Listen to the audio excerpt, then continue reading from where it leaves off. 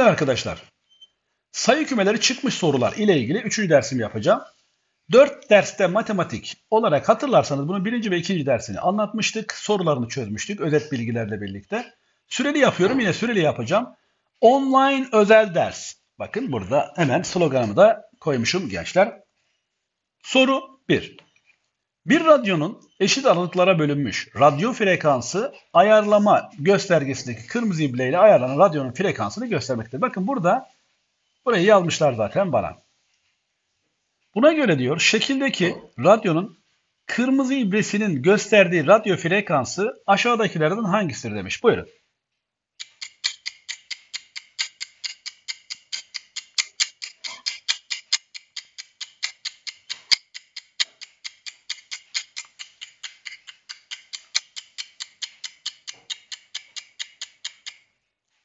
Peki önce sonuca bakalım. C seçeneği bulan arkadaşlarımı tebrik ediyorum. Bulduğunuzu görüyorum buradan. Bakın şöyle bakıyorum. 90 ile 92 arasında 2 birim var. 92-94 arasında 2 birim. 94-96 arasında 2 birim. Demek ki 1, pardon kalem almadık. 1, 2, 3, 4, 5 tane A eşitmiş 2 birim o zaman. Ben buradan A'nın 2 bölü 5 olduğunu görüyorum. Bunu şöyle bir çerçeve içine alalım. Peki 94 ile 96 arasında kırmızı ibre bakın 3 tane küçük e, çizgiye gelmiş. Yani o zaman 1 yani burası 1, 2, 3 birim olacak. Aslında 94 artı 3 çarpı 2 bölü 5'e denk gelecek orası. 94 artı 3 kere 2 6 bölü 5 olacak. Payda işliyorum arkadaşlar. Bakın şunu 2 ile genişleteyim ki daha rahat göresiniz diye. Yani 94 artı 2 kere 6 12 bölü 10'dan 94 artı 1.2 olacak. Yani 95 95.2 gelecek. Yani ibremiz 95.2'de olacak. Doğru yanıt C seçeneği olur arkadaşlar. Peki soru 2. A ve B birer tam sayı olmak üzere diyor. A artı 5B virgül 2 artı 3B virgül 3 artı B sayılardan ikisi tek biri çift sayı olduğuna göre. Buna dikkat edin. Buna göre demiş ifadelerinden hangileri bir çift sayıdır? Buyurun yapmaya çalışın.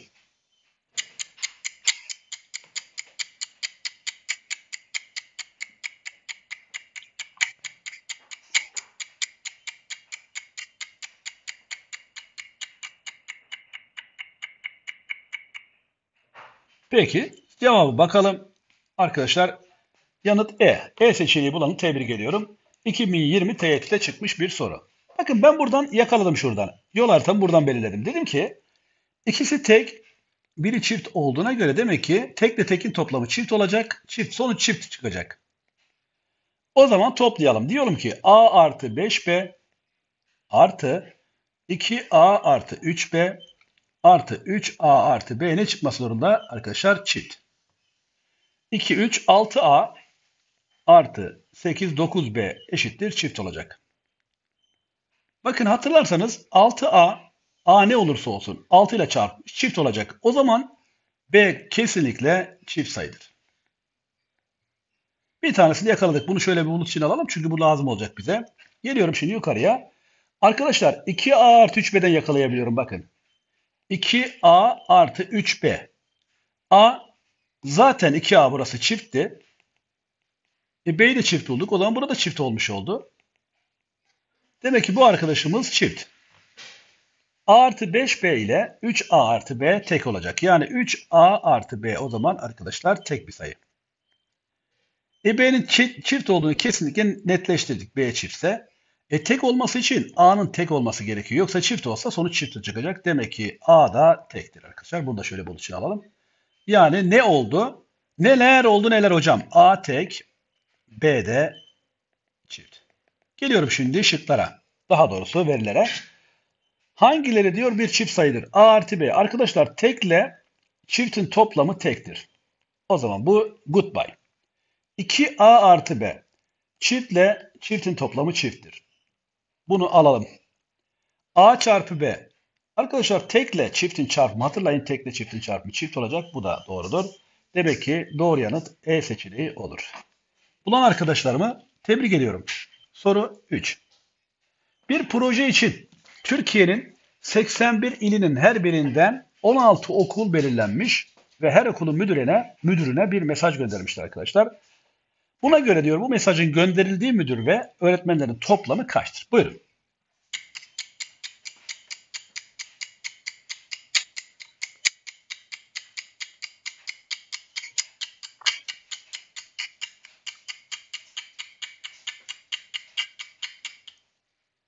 Süremiz dolmuştur. Hemen cevaba bakalım. Çünkü doğru yapan arkadaşları görüyorum buradan. Doğru yanıt C seçeneğidir. Bravo. 2020 TYT'de çıkmış. Arkadaşlar bakın 81 tane il var ve her bir ilde de 16 tane okul belirlenmiş. Demek ki bir kere 81 çarpı 16 okul var. Bu kadar ne gönderilmesi gerekiyor? Mesaj gönderilmesi gerekiyor. Yani 81 çarpı 16 ve göndermiştir diyor. Her müdürüne göndermiş. Sonra her okulun müdürü de bu mesajı kendi okulundaki 35 öğretmene göndermiştir. Yani 81 çarpı 16 tane olacak. Bir de kendi her okul kendi 35 öğretmene gönderdi.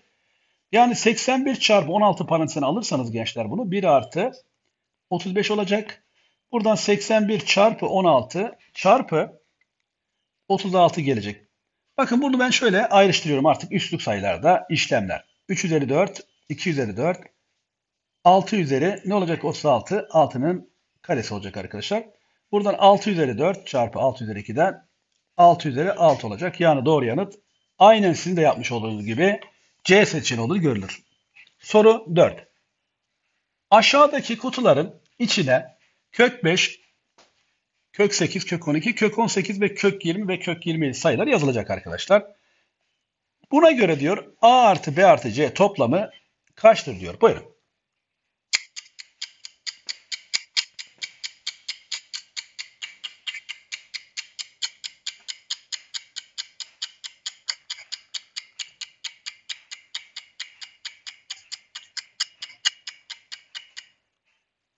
Peki süremiz dolmuştur. Bakın ben her zamanki gibi 15 saniye formalden tutuyorum. Sizler çözmeye çalışın ki hem de bu alışkanlık olsun arkadaşlar. Özel ders gibi düşünün veya kendiniz bir yerden ders dinliyormuş gibi düşünün. Şimdi bakın bir önce cevabı görelim. Yanıt A seçeneğidir. Yani A'yı bulan arkadaşlarımı tebrik ediyorum. 40. Bakın şimdi ben önce şunları bir yazıyorum. Diyorum ki kök 5 var elimde. Kök 8 var elimde. Yani 2 kök 2. Kök 12 var elimde. Yani 2 kök 3. Kök 18 var elimde. 3 kere kök 18 2 ile 9'u çarpımı ya 3 kök 2. Artık bunları sizler iyi yaptığınız için hızlı geçiyorum. Kök 20 var elinizde. Yani 5 kere 4 20'den 2 kare kök 5. Bir de kök 27 var arkadaşlar. 3, 3 kere 9'dan 3 kare kök 3. Şimdi Çarpımları bakın diyor ki yerleştirildiğinde A ve B ve C tam sayı olacaktır. Yani bunları tek tek çarpacaksınız tam sayı çıkacak. Bakıyorum şimdi kök 5 ile arkadaşlar bakın şöyle kök 5 ile 2 kök 5'i çarparsanız tam sayı olur. O zaman şuraya kök 5 çarpı 2 kök 5 yazıyorum. 2 kere 5'ten değil mi? 5, 2 kere 5 10 olacak. Demek ki A sayımız 10. Sonra diğer renkte bir kalem alalım veya siyah alalım bu defa. 2 kök 2 ile gençler 2 kök 2 ile 3 kök 2 çarparsanız kök 2 ile kök 2 çarparsanız kurtulur kökten. Yani 2 karekök 2 çarpı 3 karekök 2 ile 2 kere 3 6 kök 2 ile kök 2 2 olacak 12. Bunu da kurtarmış olduk. Bir de mor bir kalem alalım gençler. Tebeşirim bol zaten. 2 karekök 3 ile hocam o nasıl? Bence de o nasıl? 3 karekök 3'ü çarptığımız zaman arkadaşlar 2 karekök 3 ile 3 karekök 3 ile çarptığım zaman 2 kere 3 6, 3 kere 6 18 gelecek.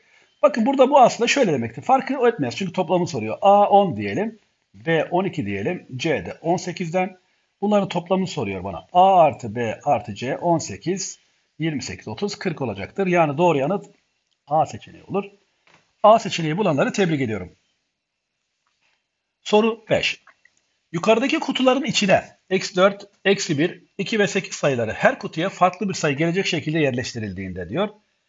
Oluşan işlemin sonucu aşağıdakilerin hangisi olamaz? Dikkat edin bakın şaşırtmaçlı soru.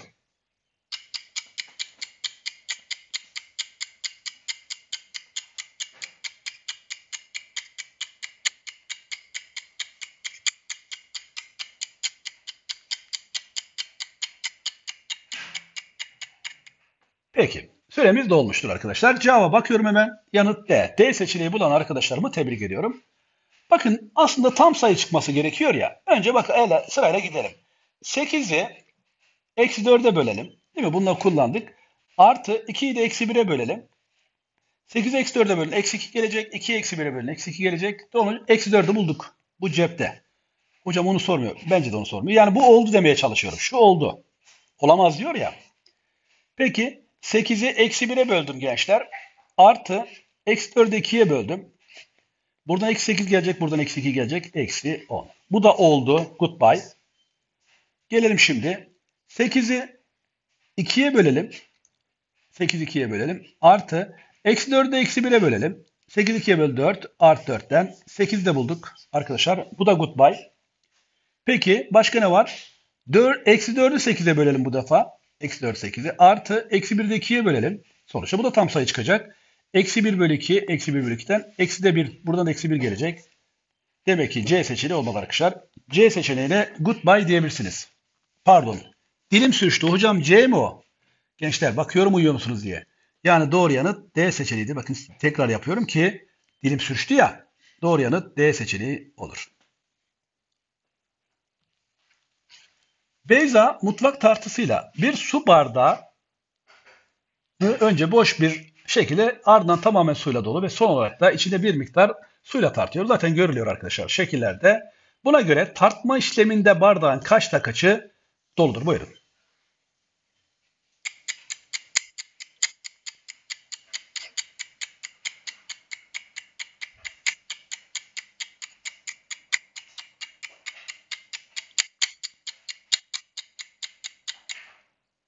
Süremiz doldu.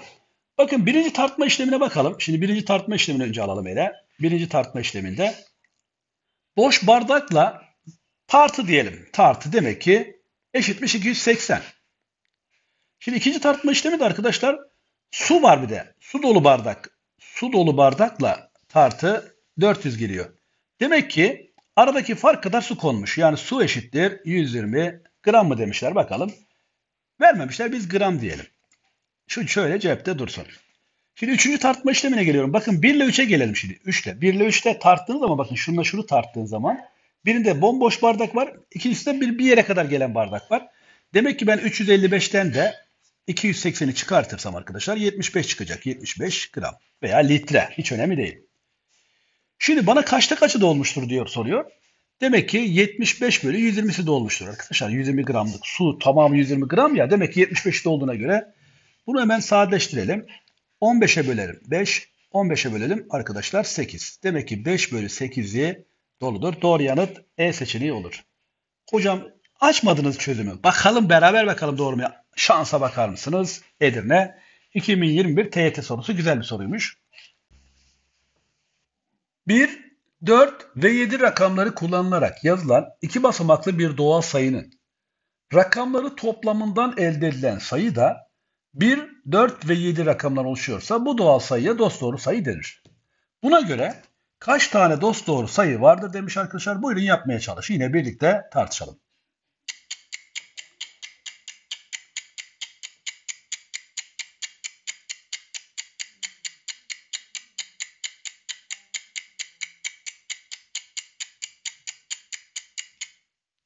Peki yine ben formaliteden 15 saniye süre tutuyorum. Bakın rakamları toplamı 1, 4 ve 7 rakamlardan oluşacak. O zaman bakıyorum önce 47 var bir defa arkadaşlar. Neden? Çünkü 47'nin bakın 47'nin rakamları topladığınız zaman 4 artı 7'den 11 oluyor. Bakın yine 1 1 ile oluşuyor. Burada 74 de olacak. İkinci sayı. Çünkü 7 ile 4'ün toplamı yine 11 olacak. Bir de 44 ile arkadaşlar 44 olmaz. Mesela 44 desek hani görelim diye. 4 ile 4 toplayalım. 8 edecek. 8 olmayacakmış. 1, 4 veya 7 rakamlardan birini kullanacaksınız. Veya göreceksiniz. Bir de 77'ye bakalım bir de. 77'ye. 7 ile 7'yi toplayalım gençler. 14 olacak. Yine bakın 1 ve 4 rakamları kullanmış oldunuz. Demek ki kaç tane var? 1. Renkli kalemle göstereceğim. 1, 2, 3 tane.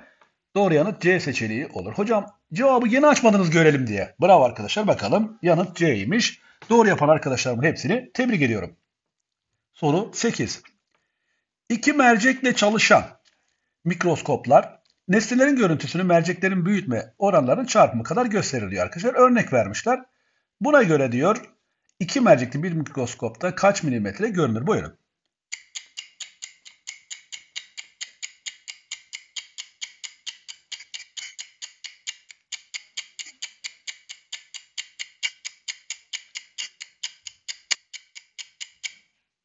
Süremiz doldu. Bakın ben genellikle bu tarz beceri temelli sorularda arkadaşlar örneğin dedikleri kısımdan başlıyorum yapmaya. Yani şurada bakın örneğin demiş. Burada mantığını kavramak daha kolay. Çünkü zaman kaybı açısından hani çünkü sizin için zaman çok kıymetli ve değerli. 2021 TET'de çıkmış. Önce hocam çözümü cevabı görelim. Peki görelim Diyarbakır. Peki bakalım şimdi. Diyor ki örneğin diyor birinin büyütme oranı 5 kat diğeri de 20 kat ise diyor ikisini bir anda kullandığın zaman 100 kat olacak. Yani ikisinin çarpımı kadar olacakmış. 12,5 çarpı 10 üzeri eksi 3 milimetre diyor. Yani 12,5 çarpı 10 üzeri eksi 3 milimetre olan bir nesnenin görüntüsü 4 kat ve 40 kat diyor arkadaşlar. Yani 4 çarpı 40 olan mercimek, mercekle, mercimek diyesim geldi. Mercekle kaç milimetre görünür? Çarpıyorum bunu. Bakın ben bunu şöyle yazıyorum. Hani rahat olsun. 20, 125 bölü 10, 12,5 çarpı 10 üzeri eksi 3 yani 1 bölü 1000 çarpı 160 diyorum. Buradan çünkü götürenler olacak. Bakın burada neler gidecek. Şu sıfır bir tanesi cırt cırt. 125'i de arkadaşlar 125'e bölün 1, 1000'i 125'e bölün 8. Buradan da 16 ile 8 sadeleşecek. 2'ye 1 olacağı için demek ki 2 milimetre gözükür. Doğru yanıt D seçeneği olur arkadaşlar. Yapan arkadaşlar bravo size. 9. Köklü sayılarla ilgili işlem yapan diyelim Mert kök 10 kök 6 kök 10 artı kök 6 sayısını eşleniği olan kök 10 eksi kök 6 ile çarpmak yerine yanlışlıkla bölmüştür. Buna göre Mert'in bulduğu sayı bulması gereken sayıdan kaç fazladır? Buyurun.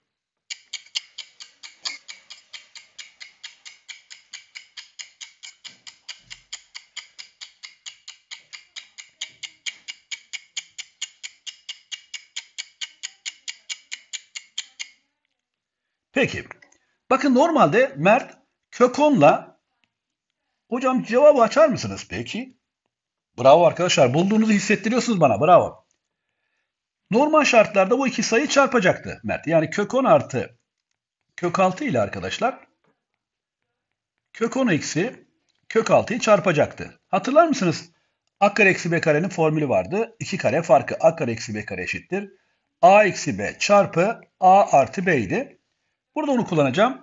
Yani kök 10 ile kök 10'un çarpımı kök 10 karesi olacağı için 10 eksi 6'dan 4 bulması gerekirdi. Bu bulması gereken. Bulması gereken sayı. Peki bu cepte dursun arkadaşlar. Peki bu arkadaşımız ne yapmış? Yanlışlıkla bölmüş. Bakın yanlışlıkla bölmüştür diyor. Peki kök 10 artı kök 6'yı yani kök 10 eksi kök 6'ya bölmüş. Hatırlar mısınız? Eşlenikle çarpma yapılırdı. Paydayı kökten kurtarmak için. O zaman yukarı yazıyorum. Kök 10 ile kök 10'un çarpımı 10. Yani birincinin karesi. Birinci ile ikinci çarpı 2 katı. 2 kök 2 çarpı kök 60. 2 çarpı karekök 60. Artı 6 bölü 10 eksi 6'dan arkadaşlar yine 4 çıkacak. Bunu siyahla yazalım. Bakın burada 10, 10 artı 6 16 gelecek. Buradan da arkadaşlar kök 60'tan dolayı 2 karekök 15 gelecek. Çünkü 4 ile 15'in çarpımı olduğu için. 4 karekök 15 bölü 4. 4 ile sadeleştireceğim her tarafı. Yani şurayı 4 parantezine alacağım işin doğrusu. 4 artı karekök 15 bölü 4'ten. Şuradaki 4'ler cırt cırt gidecek. Yani artık ne buldu bu arkadaşımız? 4 artı karekök 15 buldu. Bu bulması gereken sayı 4'tü. 4 artı kök 15 buldu. Demek ki karekök 15 fazladır. Doğru yanıt B seçeneği olur gençler. Soru 10. Bilge öğle yemeğinde birer porsiyon olarak verilen çorba, salata ve meyve seçeneklerinden iki tanesini alması gereken kalori miktarına göre seçecektir arkadaşlar. Zaten burada yazmışlar. Bilgiye yapabileceği seçimlerle ilgili olarak alması gereken kalori miktarları yazıyor. Birer porsiyon çorba, meyve suyu ve salatanın kalorileri sırasıyla ÇMS olduğuna göre diyor. Sıralama aşağıdakilerin hangisi? Buyurun.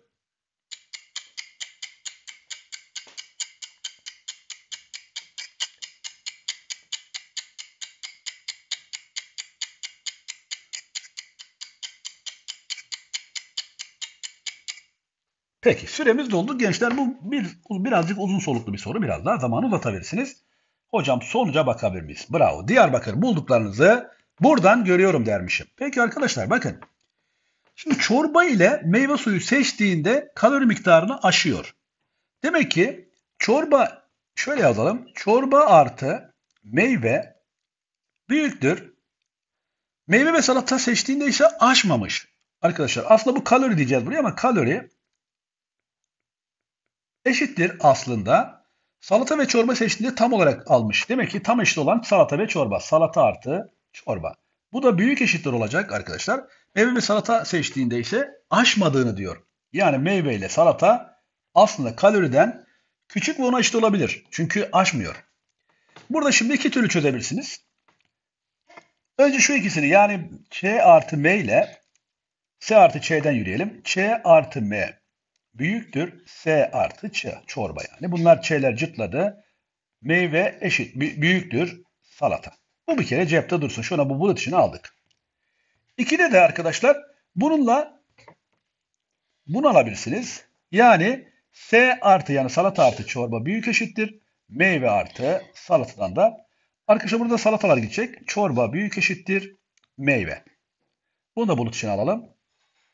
Bakın bir de 1 ile 3'e bakalım. Yani şu arkadaşla bu arkadaşa bakalım. Hani tam olsun diye çorba artı meyve büyük eşittir. Meyve artı salatadan. Burada ne olacak arkadaşlar? Meyveler gidecek. Çorba büyük eşittir salata. Peki hangi şık uygun oluyor buraya bakalım. Şimdi bu üçünü de ortak olarak sağlayan salata bir kere meyveden küçük olacak. Meyve de çorbadan küçük ve ona eşit olacak. Doğru yanıt D seçeneği olur. Bu soruyu çözenleri tebrik ediyorum. Çünkü birazcık yorum açık bir soru, güzel bir soru imiş. Soru 11. Zeynep 24 beyaz eş kareden oluşan bir tablonun bazı karelerini mavi renge boyamış ve boyadığı kare sayısının tüm kare sayısına oranını 1 bölü 3 olarak bulmuştur arkadaşlar. Sonra yalnızca bazı kareleri kapatacak biçimde bu tablonun üzerine gri renkli bir etiket yapıştırmış ve aşağıdaki görünümü elde etmiştir. Zaten görüntü burada belli.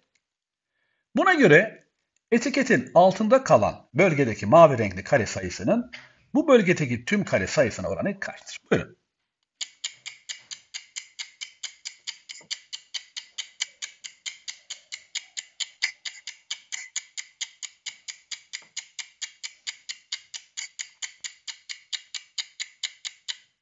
Peki.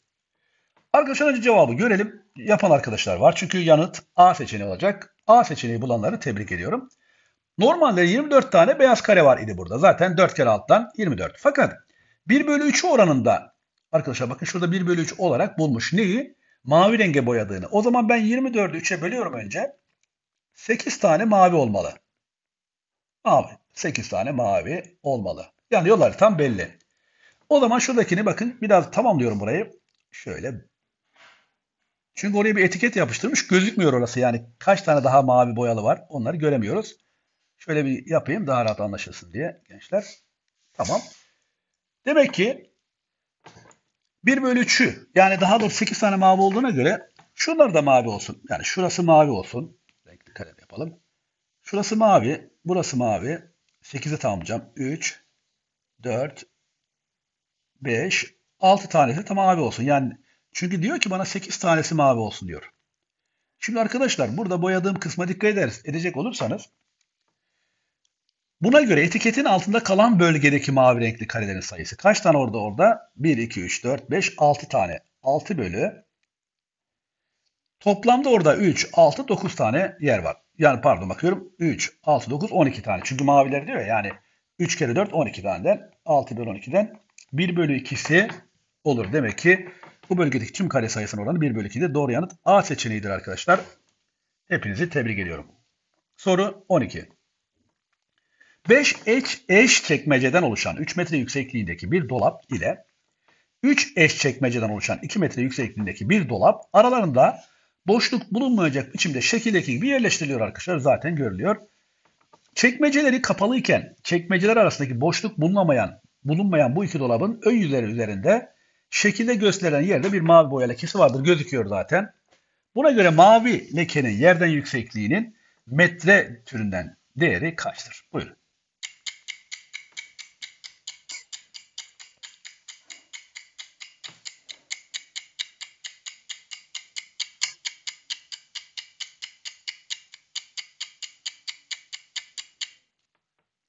Süremiz dolmuştur.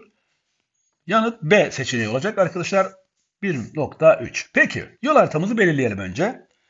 Önce sol tarafa bakalım. Bakın eşit olduğu için yani bu arkadaşlarımız her biri birbirine eşit olduğu için 3 bölü 5 olacak. Tamam her bir yükseklik 3 bölü 5. 2 tane var 6 bölü 5. Demek ki 6 bölü 5'ten büyük olacak. H diyelim bilinmeyene. H 6 bölü 5'ten arkadaşlar büyük olacak. Neden? Çünkü 2 taneden büyük. Peki sağ taraftakine gelelim. Burası da arkadaşlar burada bunlar eşit olacak. Yükseklikler eşitmiş çünkü.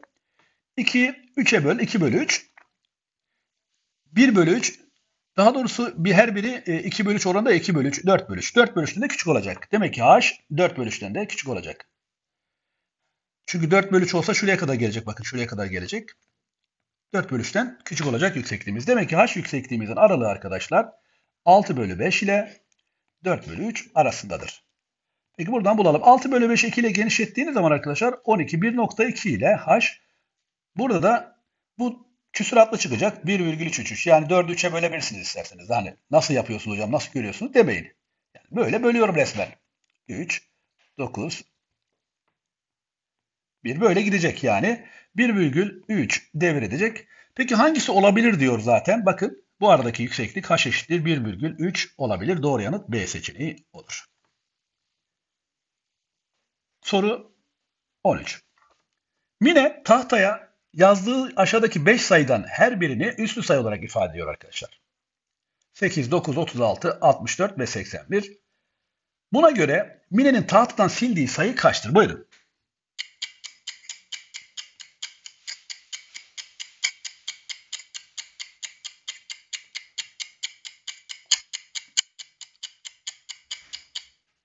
Peki arkadaşlar bakın Şurayı okumadım. Tabii ki sizler okuyorsunuz soruyu zaten. 2022 TYT'de çıkmış. Mine bu sayılardan birini tahtadan sildikten sonra kalan 4 sayıların her birinin ya tabanının ya da kuvvetinin 3 sayısına eşit olduğunu görüyor. Arkadaşlar bir kere 8'i yazalım örneğin. 8'i nasıl yazarsınız? 2 üzeri 3. Bakın 3'ü yakaladık. 9'u yazalım. 9 3'ün karesi. Yine 3'ü yakaladık. 36 kalsın. Hocam anladınız siz onu. Bravo. 64'ü yazdığınız zaman arkadaşlar 4'ün kübüdür bu. Yine 3'ü yakaladık. 81 yazdığınız zaman da 81 3 üzeri 4'tür yine 3'ü yakaladık.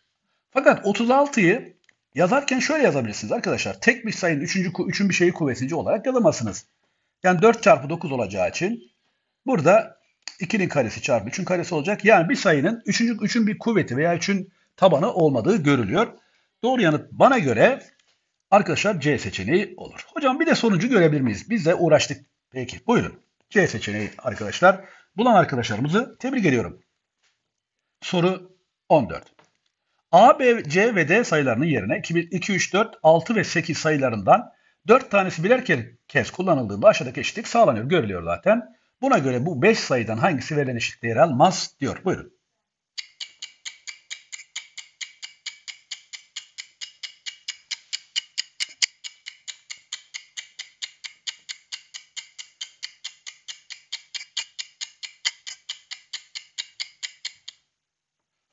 Peki süremiz doldu. Arkadaşlar bazen unutuyorum cevabı açmayı. O sırada da esprili yolla açıyorum ama önce cevap açalım görelim. Neymiş cevabımız? C yani 4. Bakın arkadaşlar burada yapacağımız olay şu aslında. 6 kök 2 desem burada. Şurada 6 kök 2 yakalayabiliyor muyum? Yani A'ya 6 desem B'ye de 2 desem sol taraf ne olacak gençler? Sol taraf 6 karekök 2. Sağ tarafa geliyorum. C'ye arkadaşlar 3 desem, çünkü 3'ü kullandık. Bakın burada 6'yı kullandık. 2'yi kullandık. Şimdi 3'ü kullandık. D'ye de 8 desem, bakın ne oluyor buradan gelen sayı? 3 karekök 8 oluyor. 8 2 çarpı 4 olduğu için arkadaşlar 8 eşittir 2 çarpı 4 olduğu için bu da 3 çarpı 2 karekök 2 dışarı çıkar. Yani 6 karekök 2 olacak. Bakın ne oldu? 6 karekök 2 eşittir 6 karekök 2 eşitliğini yakalamış oldunuz. Peki hangisini kullanmadınız? Hocam sanki 4'ü hiç kullanmadık. O zaman demek ki hangisi yer almaz diyor. Doğru yanıt C seçeneği olur. Bu da fena bir soru değilmiş gençler. Zaten biliyorsunuz TYT, AYT sınavlarına çıkan soruları çok beğeniyoruz. Soru 15. Aşağıda kutuların içerisine 1, 2, 3, 4, 5, 6, 7, 8, 9 ve 10 sayıları her kutuya farklı bir sayı gelecek şekilde yerleştirildiğinde tüm bölme işlemlerinin sonucu tam sayı olmaktadır. Buna göre A, B, C, D, E toplamı kaçtır? Buyurun.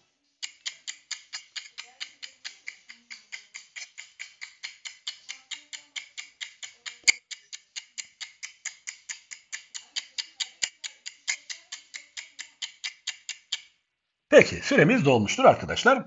Yine cevabı görelim. Yanıt E olacak yani 17. Peki bakın burada şunu demeye çalışıyor. Bu sayıları veya bu e, birden 10'a kadar olan sayıları kullanacağım. Bölme yapacağım fakat her biri tam sayı çıkacak. Bir kere arkadaşlar 7 asal bir sayı olduğu için 7 asal bir sayı olduğu için asal sayı zaten kendisinden ve birden başka hiçbir sayıya bölünmez. O zaman A'yı 7'ye 1 desek yani şuraya 7 bölü 1 eşittir 7 olacak. A'yı bulduk cepte. Şimdi 7 ile 1'i kullanmış olduk arkadaşlar. Peki 10 da aslında 2 ve 5'ten başka sayıya bölünmez. O yüzden 5'i ortadan çıkaralım. Yani çünkü 12'ye bölersek 5'i neye böleceğiz? Yani 10 ile 5'i bölelim birbirine. Buna da 10 bölü 5 diyelim. Bu da 2 olsun arkadaşlar. Bu da B sayısı. Şimdi geriye ne kaldı? 9 kaldı. 9 zaten 3'e bölünür sadece. 9 ile 3'ü bölelim. 9'u 3'e böldüm. 3 oldu. Bu da C sayısı olsun. Bakın ne kaldı elimde? 2 var. 4 var. 6 var. 8 var. Değil mi? Şimdi 6 3'e 6 2 4'e bölünmeyeceği için 6 ile de 2'yi bölelim gençler. 6 ile de 2'yi bölelim. Buradan 3 çıksın. Bu da D sayısı olsun.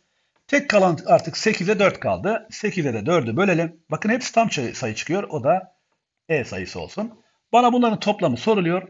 Yani A artı B artı C artı D artı E'yi soruyor gençler. Toplayalım. 7, 9, 12, 14 ve 17 olacak.